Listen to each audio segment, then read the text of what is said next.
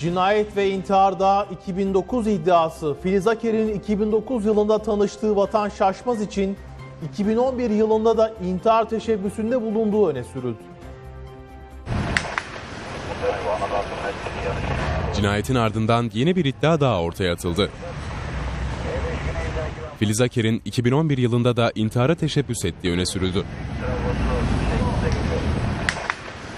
Nedeni ise yine Vatan Şaşmaz'dı. İddialara göre Filiz Aker ve Vatan Şaşmaz 2009 yılında görüşmeye başlamıştı. Bir süre sonra da ayrılmışlardı ancak Aker ünlü sunucudan hiç vazgeçmedi. 2011 yılında intihar girişiminde bulundu. Diğer bir iddiaya göre de Şaşmaz'la Aker 7 yıl önce bir sitenin asansöründe tanıştılar. Filiz Aker Vatan Şaşmaz'a aşık oldu. Aralarındaki yaş farkından dolayı Vatan Şaşmaz bu ilişkiye karşı çıktı. Eski manken Aker depresyona girdi. İntihar teşebbüsünde bulundu.